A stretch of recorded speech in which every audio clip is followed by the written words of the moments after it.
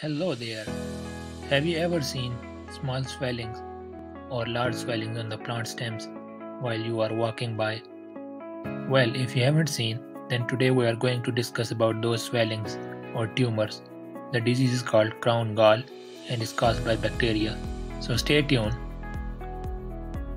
this is electron microscopic photo of Rhizobium radiobacter, which is a gram-negative bacteria formerly known as Agrobacterium tumefaciens. This enters the plant through wounds in roots or stems and stimulates the plant tissues to grow in a disorganized way, producing swollen galls. Galls are present all the year round. The expression of bacterial genes encoding biosynthetic enzymes of auxin and cytokinin forces infected plants to produce the galls. Viral infection is another source of plant tumorization in nature. The wound tumor viruses, as you can see in the photo, also called clover big vein viruses, belong to the family of group 3 viruses with the double-stranded RNA genome and induce gall formation in host plants. Gall formation caused by other pathogenic organisms has also been very well documented. This includes insects, parasitic protists, and root knot disease by nematodes. All of these abnormal outgrowths cause serious damage to agricultural crops and fruit plants, but the underpinning molecular mechanisms remain largely unknown. Crown gall affects many plants, both woody and herbaceous. Fruit plants include apple, cherries, currants, blackberries, and etc. For the sake of brevity, I am just showing a few photos here. So here you can see apple tree on the left side there is a crown gall you can see in the brownish color. And on your right you can see beetroot plant. And here you can also observe the crown gall here are some few other examples. So here is herbaceous roots that you can see on your left.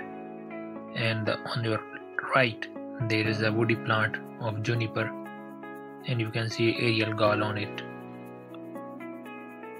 Knock knock, morphologically similar, swellings caused by crown gall should not be confused with the harmless nitrogen fixing nodules which you can see on your right, produced on the roots of many members of the pea family. Signs and symptoms Swellings on the plant stems or roots. In severe cases, almost all the root system may be replaced by massive swollen tissues. Galls on herbaceous plant decay and soon disintegrate, but those on woody plants may be hard and perennial.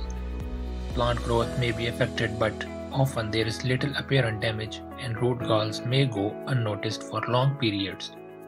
Although they can occur, aerial galls are not common on fruit trees. The tops of infected plants may appear normal. If infection is severe, plants may be stunted, produce dry, poorly developed fruit or show various deficiency symptoms due to impaired uptake and transport of water and nutrients. The crown gall pathogen Rhizobium radiobacter inhabits the soil where it persists for long periods.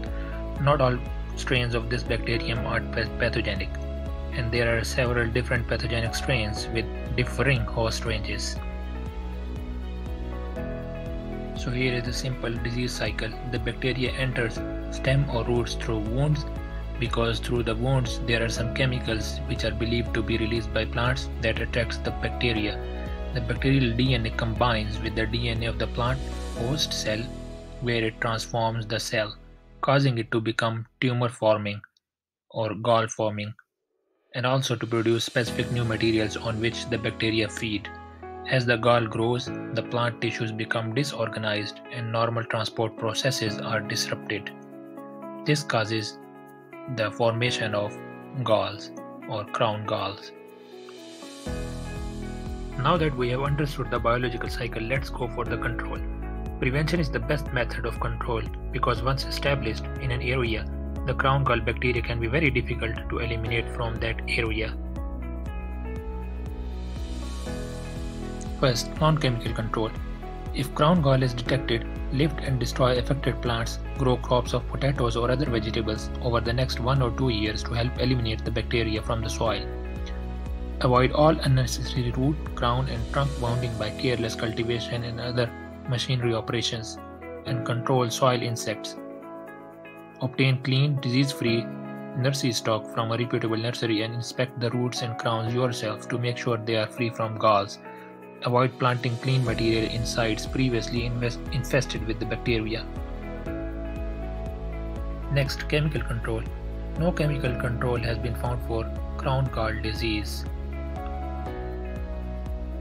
Next, biological control. A relatively new biological control agent for crown gall is available for apple, pear, stone fruit, blueberry, brambles, and many ornamentals. Nursery stock is dipped in a suspension of commercially prepared Agrobacterium radiobacter strain 84 at the planting time. Galltrol is a commercial formulation name for this biocontrol. The antagonistic bacteria act only to protect disease-free plants from future infection by the crown gall bacterium. They cannot cure already infected plants. By this, we are ending our presentation. I hope today you have learned something new. Thank you very much and Kitos in Finnish.